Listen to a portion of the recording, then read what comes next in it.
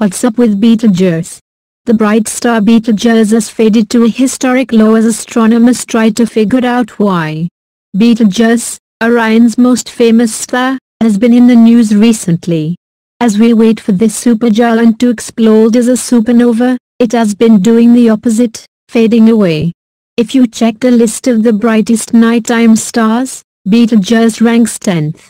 But that's only an average, the variable star's brightness typically varies from magnitude 0.2, roughly like Rigel in Orion's knee, to about 1.3, only a few tenths of magnitude brighter than neighboring Bellatrix, magnitude 1.6. Bellatrix and Rigel are also variable stars, but they vary less in brightness than Betelgeuse does. As recently as October, Betelgeuse glowed around magnitude 0.5, considerably brighter than its nearby Aldebaran, 0.9.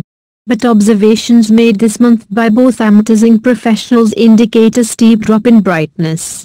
On the 28th of December, 2 UT, I used Aldebaran, magnitude 0.9, and Bellatrix to estimate the star at a feeble magnitude of 1.5, nearly equal in brightness to Bellatrix. In just two months it's fallen from 10th place to 21st, according to astronomer James Kaler's 26 brightest stars list, a remarkable decline, and a historic low. A star in trouble misshapen monster the Atacama Large Millimeter Submillimeter Array, ALMA, captured this image of Betelgeuse, revealing its lopsided shape and a huge bright spot. ALMA, is only a Gennaro Eogomen Pica Betelgeuse is classified as a pulsating red supergiant.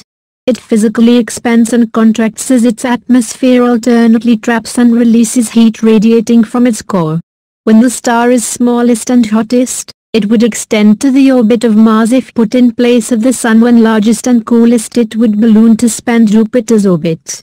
Although Betelgeuse is 20 times more massive than the Sun, its expanding shell has only 1 slash 10,000 the density of air, it might be better described as a red-hot vacuum. Betelgeuse is a semi-regular variable star with multiple periods of variation. The primary pulsations repeat every 425 days, but the star also shows additional changes in brightness with periods of 100 to 180 days and 5.9 years dark patches that resemble monstrous sunspots as well as bright blobs of upwelling gas are behind some of these fluctuations. Betelgeuse is clearly in upheaval and will continue to surprise us before it eventually runs out of fuel, collapses, and explodes as a type I supernova. While the supergiant's current behavior is out of the ordinary, it doesn't necessarily mean an eruption is imminent. Astronomers predict a star-shredding blast sometime in the next one lakh years or so. Betelgeuse light curve This light curve shows periodic variations in Betelgeuse's brightness from 1979 to the present using V-band photometry. The vertical axis plots magnitude, the horizontal plots the time in Julian dates. I've marked the dates of the oldest and most recent observations as well as the magnitudes of the current and previous minima minima. AAVSO Earlier this week I spoke with Sarah Beck, technical assistant from the American Association of Variable Star Observers, AAVSO, about Betelgeuse. She did a quick plot of the 36,743 observations of the star in the AAVSO database starting with the first one taken on the 10th of December, 1893. While a definitive analysis awaits, Beck agreed that the current minimum appears to be one of the faintest.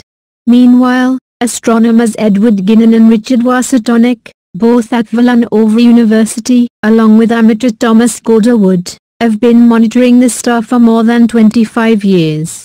They reported a decline to magnitude 1.29 on the 20th of December using precise V-band photometry, making this the faintest minimum since the star was first monitored electronically in the early 20th century.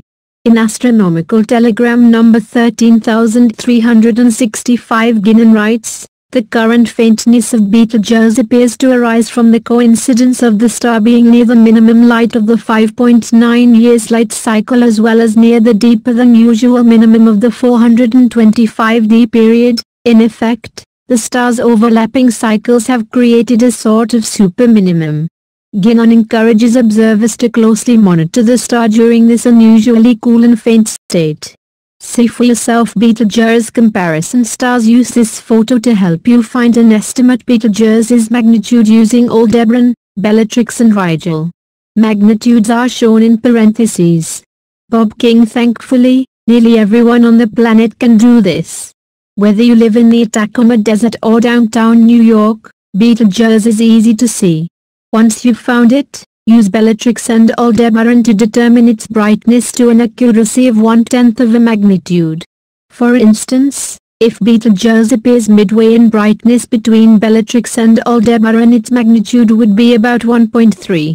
If a little fainter or brighter one way or the other add or subtract additional tenths of a magnitude. When making a magnitude estimate look quickly from star to star.